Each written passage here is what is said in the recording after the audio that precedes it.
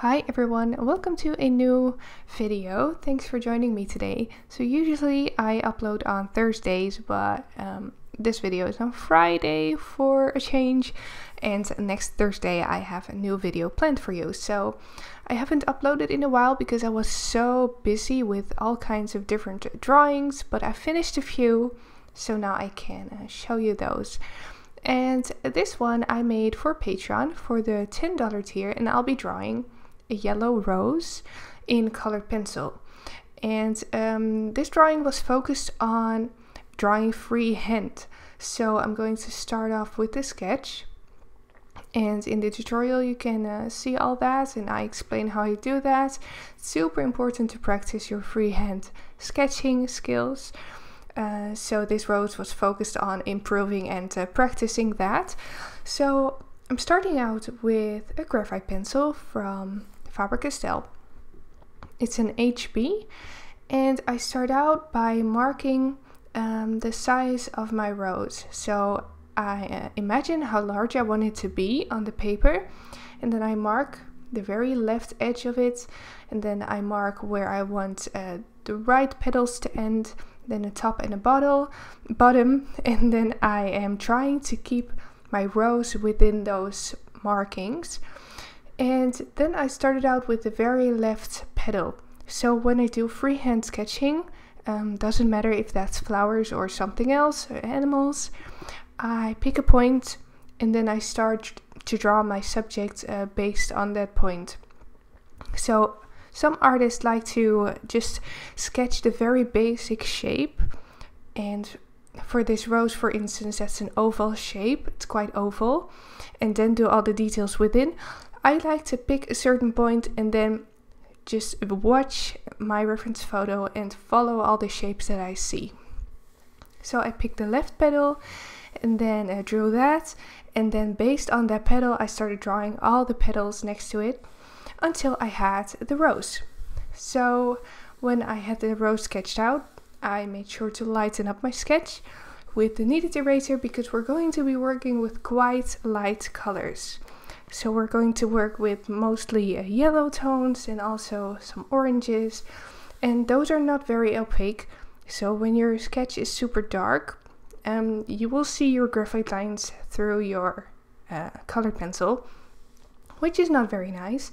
That creates all kinds of nasty, uh, muddy colors. So I made sure to lighten my sketch up first by tapping with the kneaded eraser just tapping on my sketch, lightening up those uh, lines. And then when everything was lightened up nicely, I started by adding some colors. So I'm working with Faber-Castell Polychromos, as always, basically. And um, I picked a few colors beforehand. And what I like to do first is map out all the dark parts. So all the dark shadows in between the petals and I started mapping those out with some neutral orange tones like terracotta and some other dark cadmium orange and that makes it so much easier to see the shape of the flower after this part and then judge how light or how dark you can go with the rest. So you can see that I'm really working around all those lighter edges of the petals that are curving over a little and just focusing on creating the dark shapes in there. And I'm starting out with quite um, a light pressure, so I don't press too hard on my pencil. I build up everything quite lightly and that way you can add all kinds of other colors on top of that without the paper getting saturated. So uh, the paper I work on as always is Canson 1557 180 grams. But this kind of drawing, this kind of tutorial you can do on basically every uh, usual regular drawing paper or even watercolor paper if you have that. And after mapping out all those dark parts, I started doing the slightly darker yellow petals. So still the very lightest edges I kept open, so I kept working around those. But uh, the petals that are slightly more in shadow, I filled in with a darker yellow tone. still with light pressure. And after all those petals were filled in, I did the lightest edges, the very lightest bright edges with uh, um, a light yellow tone. That was cream. And then I had the whole rose filled in with the base layer. So then you can start building up the darker shadows, making those even darker and adding some detail.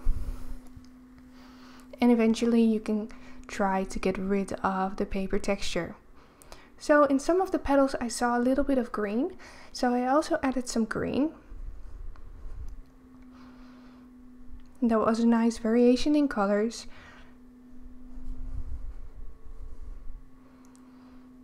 And after that I felt ready to really saturate that paper. So I picked a bright yellow and I went over everything with that bright yellow except for the very lightest um, parts and I added a little bit more pressure and now the rose is getting that real nice saturated yellow tone. And after that to get rid of the texture of the paper I added the white Caran d'Ache luminance.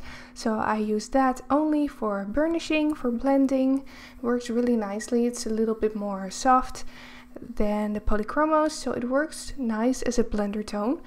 And um, I don't use a lot of pressure when adding that because then I'm still able to add some final layers on top of that.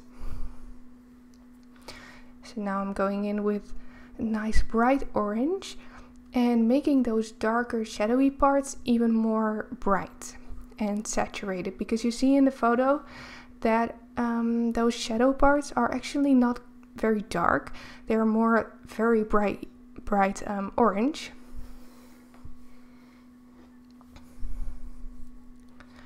So I added a little bit more of that orange, darkening up the shadows a little bit more, and then went over um, the petals one final time to really make sure that the paper was smooth, that you couldn't see any of the paper through it anymore.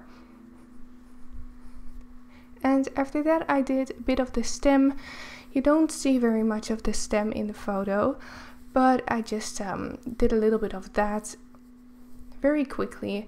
I drew out the shape of the leaves that were sticking out and I added some uh, different greens. Some lighter green, some darker green, and then even some very dark gray for the darkest shadows. And then I did a bit of burnishing on that. So after that the drawing was finished. It took a little bit under two hours. So you can follow this one on Patreon for the $10 tier from start to finish with color list and a reference photo of course.